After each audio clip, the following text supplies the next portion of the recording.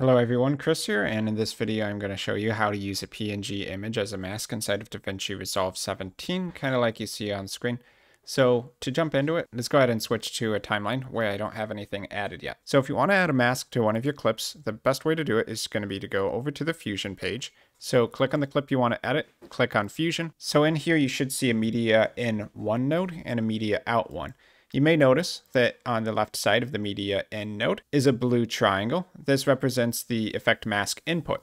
So any node that you see that on, you can add a mask to. So if you want to load another image into this node graph so that you can use it as a mask, one way is just to drag and drop from your computer. So we can take a image, a PNG, and just drag and drop it here. So if we preview our media in 2, which is the image we loaded in on the left-hand side, uh, we can see that it loaded just fine. Sometimes I notice there might be blurriness around the edges of a PNG image. So if you have any issues, another way you can load in the image is to right click on the node graph, go to add tool, and then go down to IO and choose loader. So when you add the loader node, you'll have the option to select an image. So let's go ahead and grab this logo gimp.png, double click and add it. So if we preview this on the left-hand preview, we can see this loads in just fine. So now we can use either of these masks for our purposes. So let's drag it over there a little bit. So if you have a very large image, like we can see this one right here, it's not going to fit the frame so well when we connect it to media in. Let's go ahead and do that to show what I'm talking about. So take the output from media in2 and connect it to the effect mask of media in1. So we can see it's too big here. So a quick way to have it resized to fit the frame is to click on your media in1 then go over to settings on the inspector and where it says fit mask, change that to do inside. So this will make sure that this input is going to fit inside the frame. Now if we want to resize it further or adjust the position of the mask on our final frame, then what we can use is a transform node. So I'm going to select media in one. I'm going to right click on the line in front of it, go to add tool, down to transform, and then choose transform. Before we edit this, click on media in one, and you may want to change the fit mask back to crop so that this node is not resizing or adjusting the uh, mask image in any way.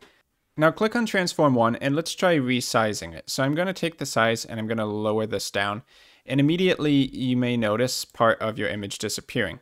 So to fix that, change edges from canvas to duplicate. Uh, if you want it to tile, you could also put it in wrap, and if I lower the size further, then you can see we get a whole bunch of the same image. That can be an interesting effect. But if you just want one, put it in duplicate. So now with this transform node, we can also reposition it around the screen. So I can adjust the center X position or the center Y position, and we can have this anywhere on the screen. Note this right preview window. That is the media out one node. So that is the final result of what we're getting out of this node graph. So our transform controls the position and the size. Remember to keep it in duplicate mode. And that is how we adjust our mask. So now if you need to animate the position or size of your mask in any way, you can still use the transform to do that. So if I take the transform node and just at a random point in the video, I keyframe the center position and the XY size. Let's go 20 frames in the future and let's change the position. So it might be easier to use the gizmos so that you can just position it exactly where you want it rather than scrolling up and down the numbers. Let's uh, take the X size and shrink that down and the Y size as well to match that. If you don't see X or Y size, it might be because you have use size and aspect checked. So just use it whichever way you want. Okay, so let's go to frame 340 here. You can see the white notches for the keyframes. We'll hit space. And you can see here that the position of our PNG mask is animating. So let's take this clip over here and let's do a different kind of masking. So we'll mask an effect this time. So I'm going to take this clip. I'm going to go over to the Fusion page. Let's go ahead and drag in our masking shape that we want to use. Maybe the Dropbox icon, why not? And then let's add a blur node between media in and media out. So click on media in and I'll click on blur, which adds a blur node after that. So if we take the blur one and we scale up the blur size to a high number, you can see it just blurs out the entire screen with a standard Gaussian blur. Now, if we want to limit which parts of the screen are going to be affected by that blur, then we use our mask. So I'm going to take the mask input and connect that to the blue triangle for the blur one.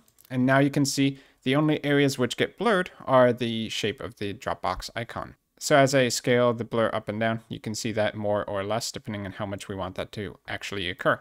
Now, an interesting trick you can use for this is if you want the areas outside of where the icon is to be the areas that blur, then you can just reverse it. So if you click on the blur node and you go to settings, you can do apply mask inverted.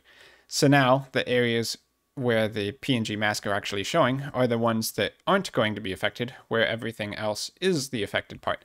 And you can do that with other nodes that have a mask import as well. So if I connect the mask to media in, let's click on media in one, and you'll see you can apply mask inverted here as well.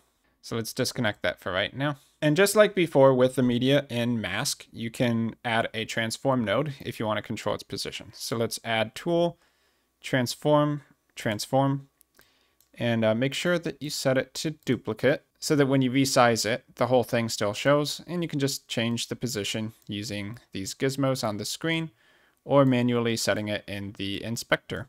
So that is pretty much all you need to know about how to use a PNG image as a mask inside of DaVinci Resolve 17, specifically on the Fusion page.